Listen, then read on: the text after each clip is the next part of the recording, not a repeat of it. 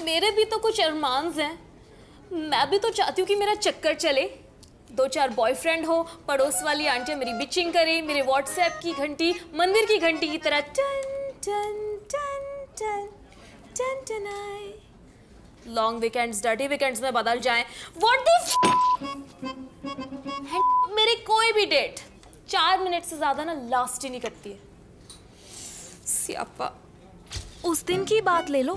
अच्छा खासा सोना मुंडा, कनाडा में सेटल टिंडर पे भी राइट स्वाइप हो चुका था। मीन्स इससे ज़्यादा और क्या सेटल हो सकता है? डेट पे गए। मैं उसे बहुत इंटरेस्टिंग तरीके से ना शिफॉन फैब्रिक और लेजर फैब्रिक का डिफरेंस समझा रही थी और फिटे मुँह सो गया। He slipped off means full on खराटे इज़्ज़त की तो चॉप हो गई ना। फिर एक सॉफ्टवेयर टाइप बेंगलोर बॉय से इंट्रो हुआ थ्रू म्यूचुअल फ्रेंड बिल्कुल डिसेंट मद्रासी टाइप तो मैंने सोचा ये तो सिंपल है। मैं ना उसे फेक वाली गुच्ची कैसे स्पॉट करते हैं वो बता रही थी कि बीच में कंजर करके ज़ोर ज़ोर से हंसने लगा। तो मैंने पूछा व्हाट सो फनी तो कहता है लॉलीपॉप की जगह लॉलीपूप लिखा है। सो वट जय अप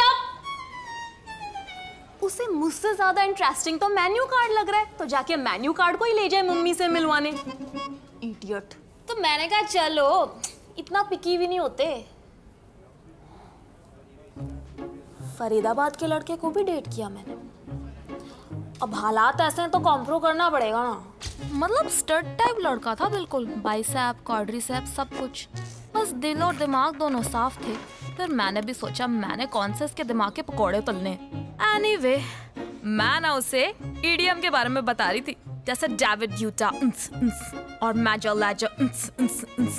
फिर मैं देखती हूँ कि वो बगल वाली टेबल पर बैठी किसी बिच को ताड़ रहा है बड़ा हराम खोर and that bitch is throwing him back. इतनी इंसल्ट ना मेरी आज तक नहीं हुई है बाय गॉड मैं इतनी ज़्यादा डिप्रेस हो गई थी। मैंने सोचा कि कि मुझमें कोई प्रॉब्लम है। फिर मेरी कजिन सिस्टर ने कहा प्रॉब्लम तुझ में नहीं प्रॉब्लम तेरे पेपर में है गिफ्टी ऐसी बकवास पड़ेगी ना तेरे साथ बकवास ही होगा got it hey sweetheart long time no see हाँ हो गया सी। हुन तुसी लाइन च लग जाओ। हम्म।